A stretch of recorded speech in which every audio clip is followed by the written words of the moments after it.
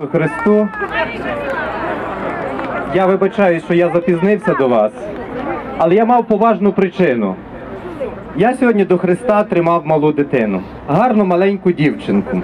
І ви знаєте, що сьогодні такий гарний день, сьогодні свято, стрітання, і так мені Бозя дала, що я сьогодні ще до е, МБУ став хресним татом в черговий раз. Але то, що я до вас запізнився, я е, віддам вам подарунок, який я ще нікому не дарував. Я тут я люблю дуже анекдоти. Я вам подарую майданські анекдоти. Можна? Їх ще ніхто не чув. Я думав їх завтра в Києві подарувати, але я до вас запізнився і я винний вам. Тому я подарую вам. Отож, ніхто ще не чув. Для вас спеціально.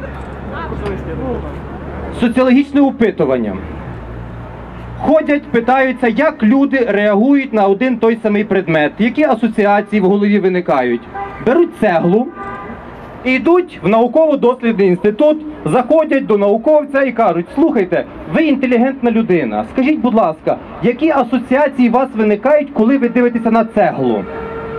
Ви знаєте, з цього предмету побудована е, видатні і, і архітектурні пам'ятки, е, піраміди Хіопса, собор Парижської Богоматері, неймовірні архітектурні шедеври. Дякуємо, записали. Ідуть на будівництво. Заходять до робітника. Скажіть, будь ласка, от які асоціації у вас виникають, коли ви дивитесь на цеглу? Боже, день в день, цегла, розчин, Боже, то така робота нема ради. Добре, дякую, записали. Приходять на Майдан, підходять до майданівця і кажуть: а скажіть, будь ласка, що ви думаєте, коли ви дивитеся на цеглу? Майданівець взяв цеглу, подивився і каже: Я думаю про Беркут. А що про Беркут? А я про нього постійно думаю. Вдогонку, вдогонку вам, щоб було трошки веселіше, вдогонку. Той самий продовження того самого анекдоту. Іде соціологічна служба, питається е, на Майдані, дуже часто спитаються, а скажіть, будь ласка, чи завтра буде, от які завтра буде е, Беркут е, а- атакувати Майдан? Які ваші прогнози? Які ви відсотки даєте? Питається в одних, є скільки відсотків даєте, що завтра буде Беркут на Майдан нападати? Один каже 25, другий 37. Приходять на Майдан, сидить майданевець, е, сторожує е, барикаду, до нього приходить, питається, і він ту цеглу тримає. А скажіть, будь ласка, яка ймовірність, що завтра нападе, е, який відсоток ви даєте, що завтра е, в наступ піде Беркут? Він каже, одна друга. А як одна друга? Ну або піде, або не піде. Насправді я вам дякую, що ви дали мені можливість трошки розрядки. Я собі їхав до вас і думав, все-таки які ж позитиви, які здобутки зробив Майдан.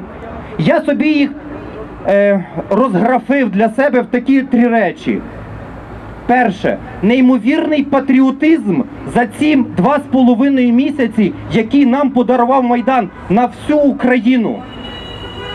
Чи ми могли пам'ятати, що зі всіх майданів України буде звучати Слава Україні?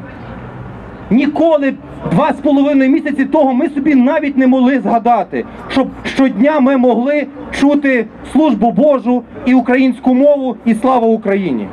Неймовірний загальнонаціональний солідаризм.